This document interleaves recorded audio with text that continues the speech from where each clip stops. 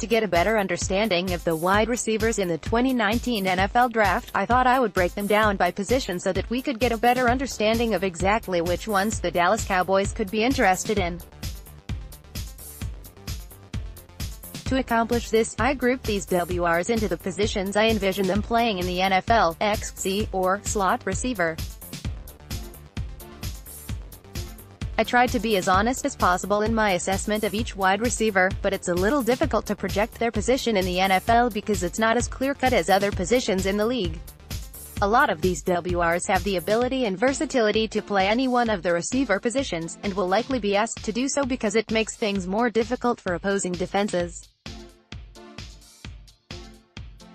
Continue reading below to see how I have the 2019 WR draft class group by the position I believe they will play in the NFL.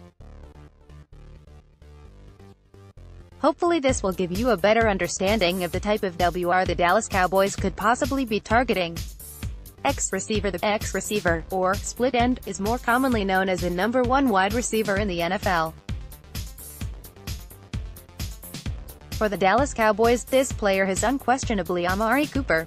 With him on board and more than likely fixing to receive a contract extension, it's highly unlikely the Cowboys are looking to draft this type of receiver.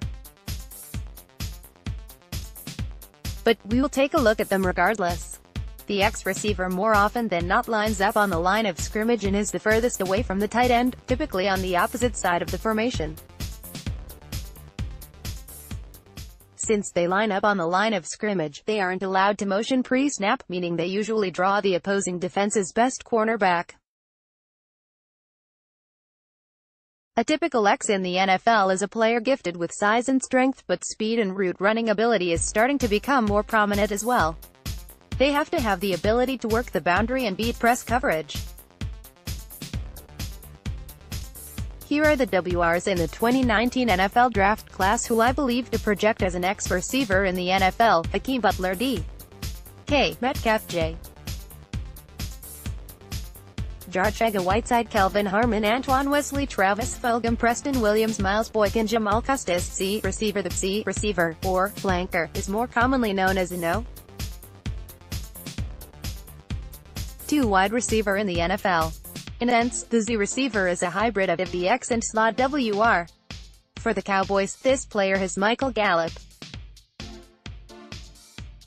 Even with Gallup on the roster, I don't think it would keep the Cowboys from drafting another Z-type receiver. The Z receiver traditionally lines up on the same side of the field as the tight end. This receiver will be set back off the line of scrimmage in order to keep the tight end eligible to run passing routes, which also means they can be used in pre-snap motion. Because of this, they are required to run a more diverse route tree and work the middle of the field more often instead of the boundary like the X receiver.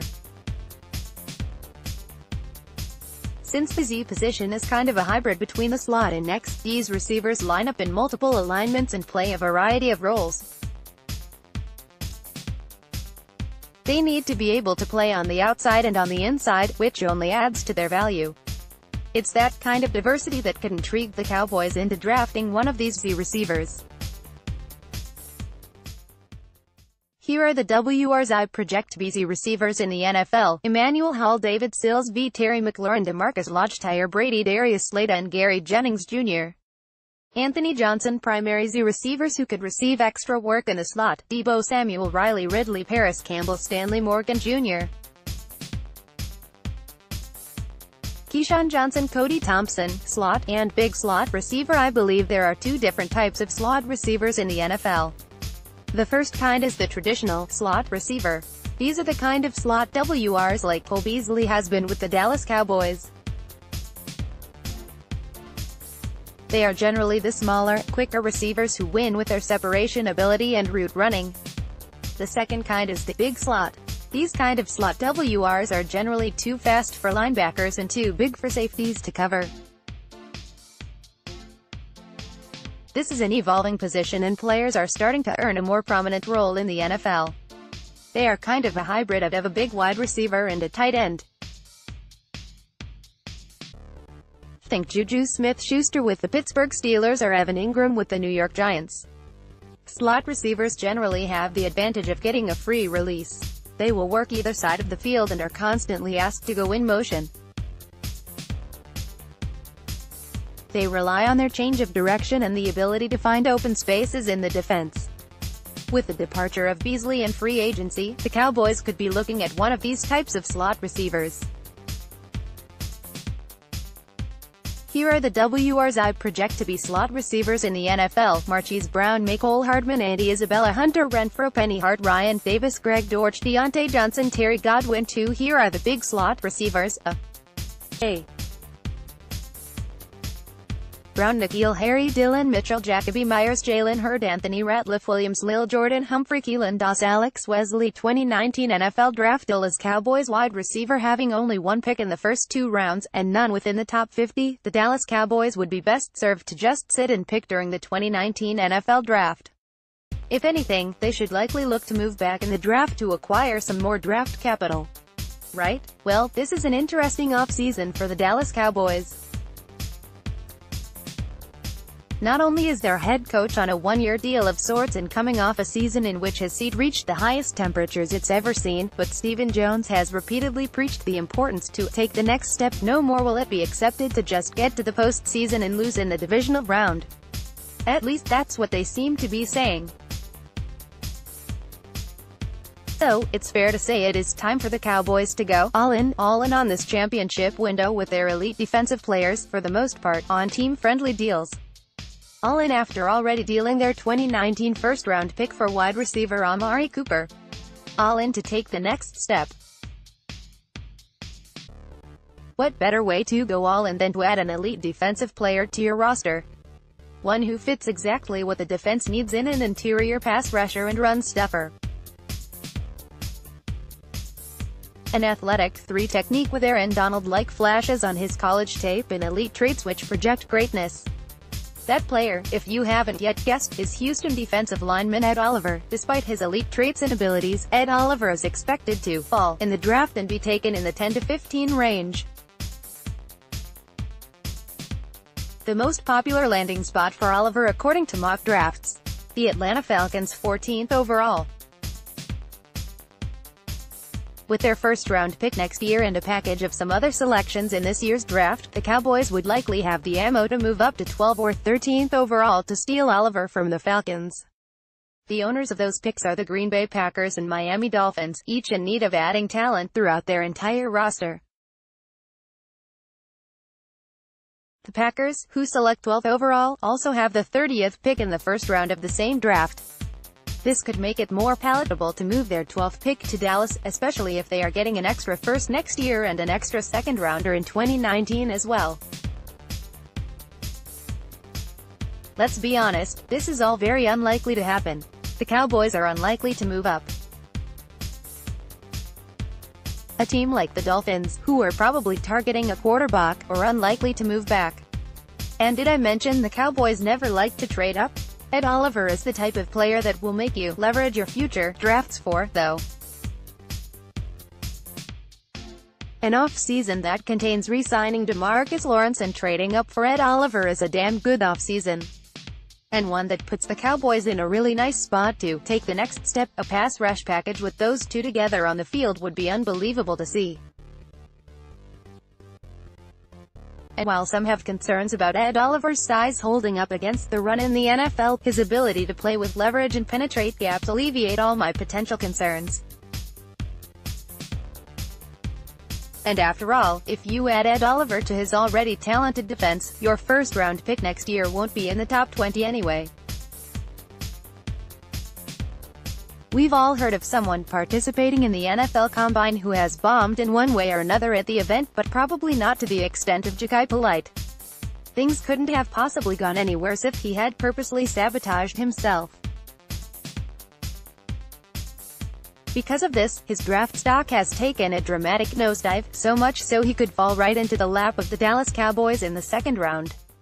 Think of all of the possible ways you could bomb at the Combine, and Polite probably did it. Team interviews, check. Media session at the podium, check. Bombing the workouts, check. Showing up unprepared and out of shape, check and check. The interview process with NFL teams is where things first started to go badly for Polite. He specifically called out several teams for grilling and bashing him over just his bad plays. Surprisingly enough, this is not uncommon and he should have been better prepared to handle such scrutiny.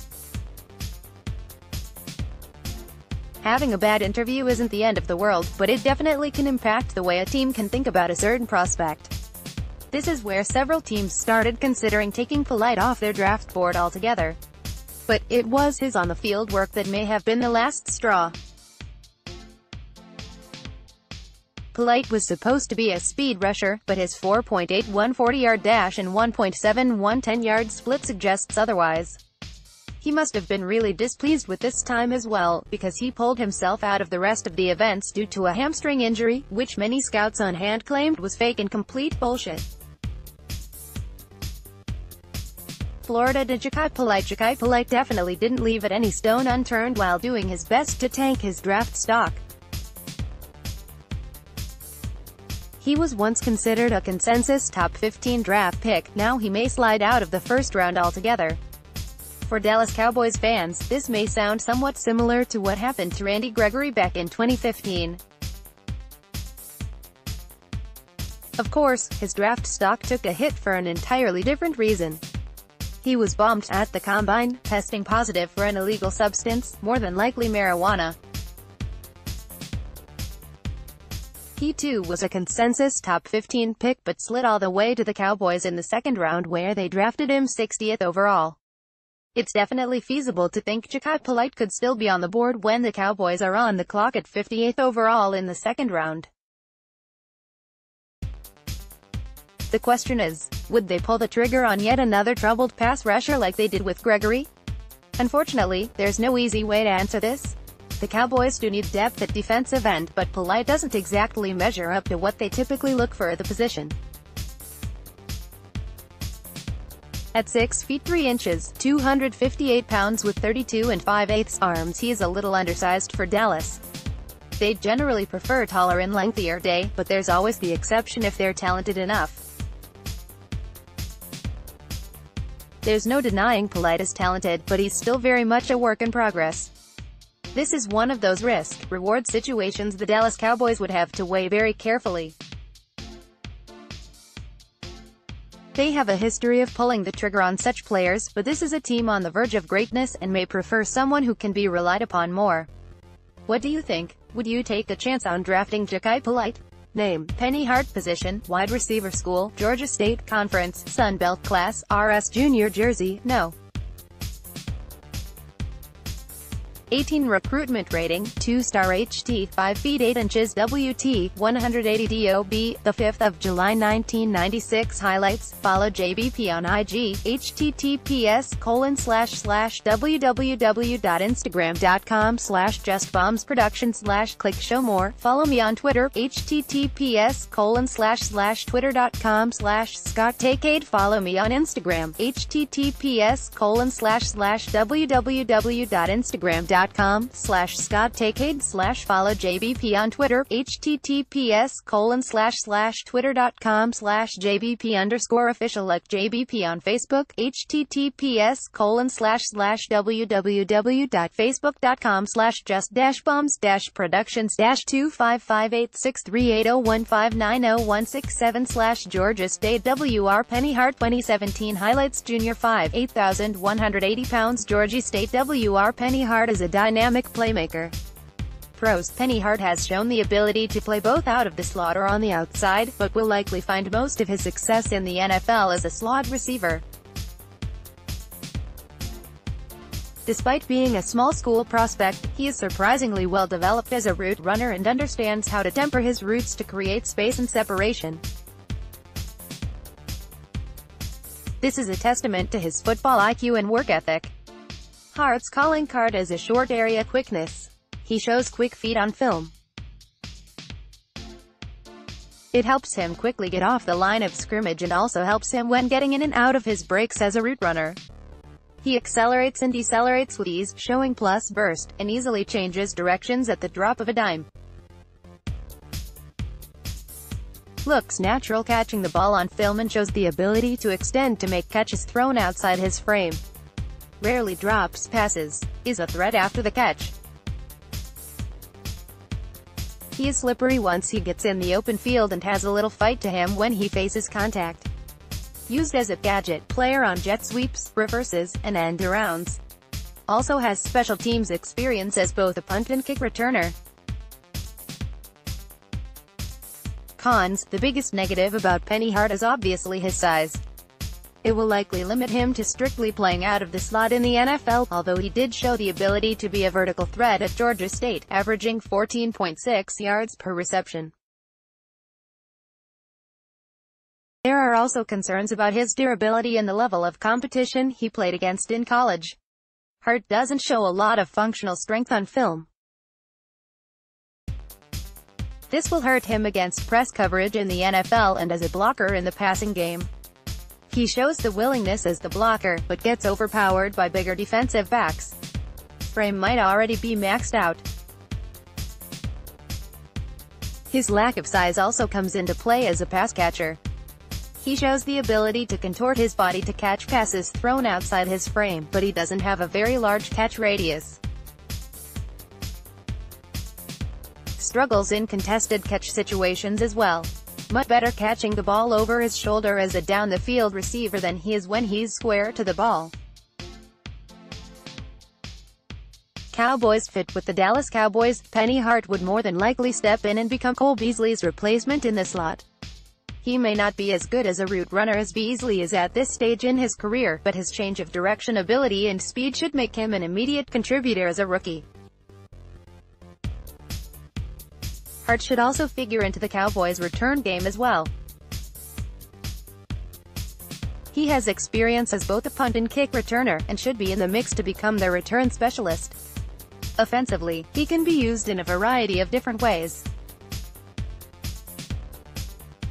He's shown the ability to play either on the inside or outside in the passing game and can be used on gadget plays such as jet sweeps, reverses, and end arounds. Overall, there is a lot to like about Penny Hart in the variety of ways he can help the Cowboys. He would have some large shoes to fill, but he has the kind of skill set and game-breaking ability that could endear him to fans immediately. He is projected to be a day 3 pick, and I think he would be an absolute steal at that point in the draft for the Cowboys.